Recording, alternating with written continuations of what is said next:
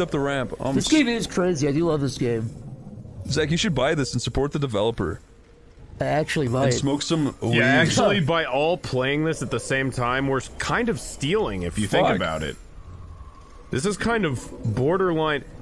Wasn't there something like that where somebody was saying like if you No, no, it was uh it was it was Microsoft, it was Xbox. Really?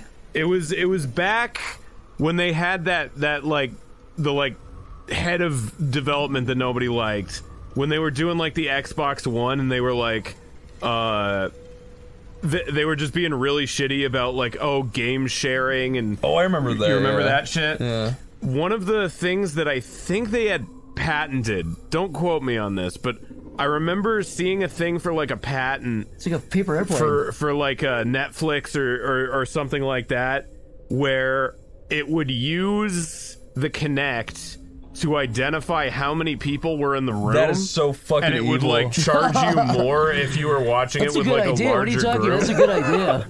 They really are truly fucking evil, You have aren't to be they? like you have to be a demon out of hell to fucking think of an idea like that. NFL. Let's look at who's in the living room and count them one by one. No one will share movies.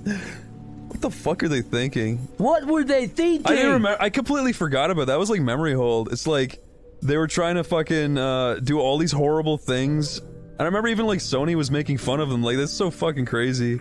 Remember Sony's like entire like exhibition We was just, just we're not yeah, where it's like this yeah. is how you this is Yeah, how you share Xbox. games on PS4. that was honestly fucking genius. and he just like hands them the game and goes, "Here you go."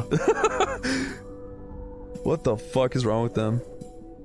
yeah, I, th- I think they like drastically changed direction after that.